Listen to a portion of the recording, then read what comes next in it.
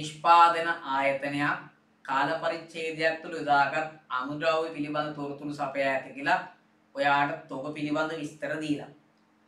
තොගය ABC කියලා තොග වර්ග තුනයි.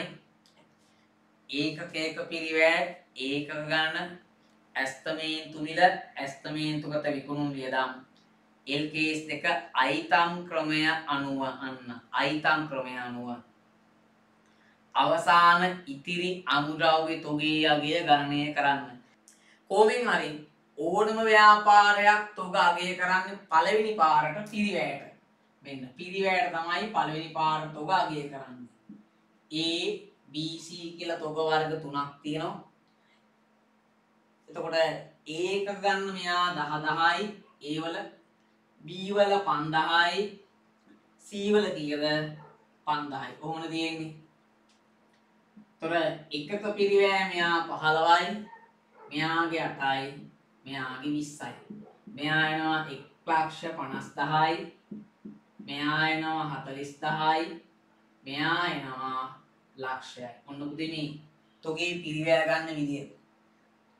ප්‍රමාණය එකක පිරිවෑන් වැඩි කරාම ඔයාට මුළු පිරිවෑන ප්‍රමාණය එකක පිරිවෑ වැඩි කරා මුළු පිරිවෑන එතකොට මෙතන එනවා දෙලක්ෂ අනූදහක් අන්න තොගේ පිරිවෑ විදියට දැන් තොගේ පිරිවෑ වුණා ඊළඟට ඔය එක්කෙනා තමයි කවුද ශුද්ධ උපලබ්ධි අගය අන්න ශුද්ධ උපලබ්ධි අගය එතකොට ශුද්ධ උපලබ්ධි අගය හොයනකොට පුතේ අපි කොහොමද ශුද්ධ උපලබ්ධියක හොයන්නේ? ආ මෙන්න දෙනවා. ඇස්තමේන්තුගත විකුණුම් මිල. විකුණුම් මිලෙන් අඩු කරන මොකක්ද? ඇස්තමේන්තුගත විකුණුම් වියදම්. ඒතර විකුණුම් මිලෙන් අඩු කරන විකුණුම් වියදම්. මෙතන 12න් දෙකක් ගියාම කීයද? අන්න 10ක් එනවා අපිට. හරිද? A වල. B වල 12න් දෙකක් ගියාම 10යි. B වල ඒකේ 12න් දෙකක් ගියාම 10යි. C වල පහළවෙන් තුනක් ගියාම කියද තුනයි මේ තියෙන්නේ ශුද්ධ උපලබ්ධි අගය හරිද ඒ වගේම පිරිවැය ගත්තොත් A B C වල පිරිවැය 15යි 8යි 20යි අන්න. දැන් මේ අයිතම් ක්‍රමේ කාණ්ඩ ක්‍රමේ හොයනකොට පුතේ අයිතම් ක්‍රමේ කාණ්ඩ ක්‍රමේ වෙනස් වෙන්න හේතුව තමයි මේ ශුද්ධ උපලබ්ධියගේ හොයනකොට ABC කියන තොග වර්ග තුනේ මෙයා 10 10යි 5000යි 5000යි හරි ABC කියන තොග වර්ග තුනේ ශුද්ධ උපලබ්ධියගේ හොයනකොට අපි මොකද කරන්නේ? අන්න පිරිවැය හෝ ශුද්ධ උපලබ්ධියගේ අංගෙන් ගන්න අඩු වෙනවා 15න් 10න් අඩු වෙනවා කීයද 10 අන්න එයා තමයි මෙතන වැඩි කරන්නේ. B වල පිරිවෑ හෝ ශුද්ධ උපලබ්ධියගයන්ගෙන් අන්න අඩුවෙක් කෙනා ගන්නවා වැඩි කරන්න යටේ. සීවල පිරිවෑ විස්සයි උපලබ්ධයක දොළහයි. අඩුවෙක් කෙනා කවුද? දොලා අන්‍යයාගේ වැඩි කර මෙයා එනවා ලක්ෂයයි.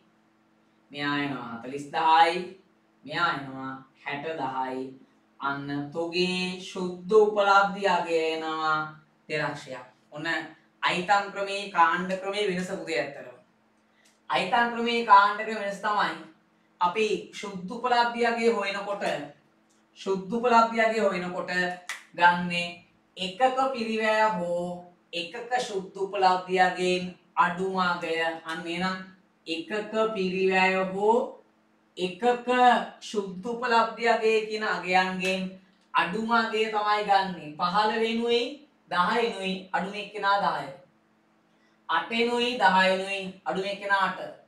විස්සෙයි දොළහයි අඩුම එක්කෙනා දොළහ. අන්න මේ තියෙන තොගේ ශුද්ධ උපලබ්ධයගය මේ තියෙන තොගේ පිරිවැය. ඊට පස්සේ අවසන් තොගේ කියලා ගන්නේ අන්න පිරිවැය හෝ ශුද්ධ උපලබ්ධය කියන්නේ එයා ගිරොත් අඩුම එක්කෙනා තමයි ගන්න කීයද? අග තොගය විදියට කීයද? දෙලක්ෂය. එහෙනම් මේ අයිතම් ක්‍රමය කියන්නේ මොකක්ද?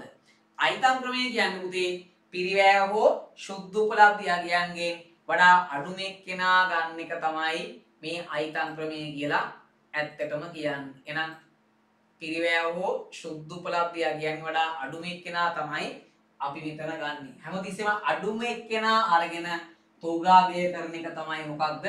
අයිතම් ක්‍රමේ නම් උත්තරේ කීයද ලක්ෂ දෙකයි ඉන්නේ. දැන් ඔයා ගාව කලින් පේපර් එක මම දීලා තියෙනවා. ඔයා හදලා ඇති.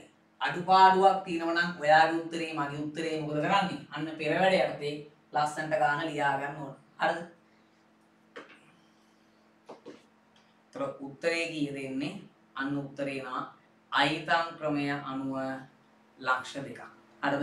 අයිතම් ක්‍රමය අනුව කීයක් එනවද ලක්ෂ දෙකක් එනවා හරිද? හරි. උන් එහෙනම් මම හිතුවා එකක් ගොඩ ඇති කියලා.